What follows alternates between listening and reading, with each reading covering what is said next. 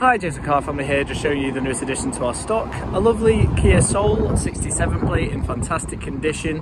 Uh, the car's got a good MOT on it, two keys with the car as well, uh, and the bodywork is in immaculate condition. Uh, I'll just make my way around, but there's not really much to mention about the vehicle. Uh, drives absolutely fantastic, nice and smooth, got Michelin tyres the whole way around on the vehicle. Uh, great spec, reverse camera, uh, parking sensors, sat nav, heated seats, heated steering wheel, rear a very nice rear privacy glass actually, it's very good tint on that. Um, and yeah, really the only thing to mention, it's got a tiny little few scratches just on that rear right bumper. Parking sensors and camera are all in working order obviously. Again, you've got the rear tint uh, on the windscreen as well.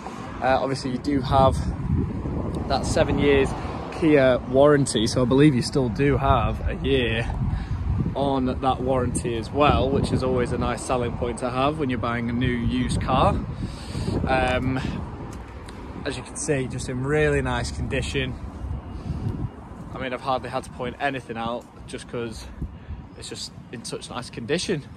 Obviously, you can't hear the cars on because it is electric. I'll just show you the interior now. As you can see, four electric window controls there, automatic uh, folding mirrors, heated steering wheel controls just there as well.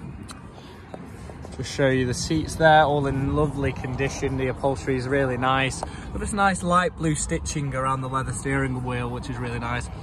Cruise control as well as you can see. Really nice. You've got drive mode capability there as well. Obviously automatic transmission in these.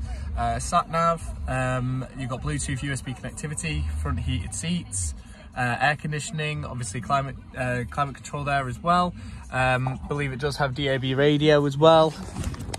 So it's fully stacked, to be honest with you. Really smart interior. Very comfy as well, the seats are, you know, it's a very comfortable car to drive. It's nice and high up in this driver's seating position. So if you're looking for a hatchback, that was just slightly more raised rather than other hatchbacks on the market. This is definitely a car you should be looking for.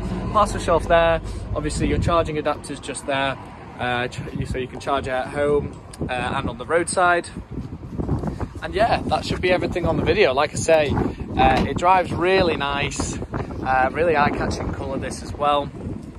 Um, and obviously, you know, free road tax. So if you're looking to driving a car through the city over and over, this is definitely up there uh, with one of those. So yeah, that's everything on the video. If there's anything that I've missed that you would like to see, do let us know.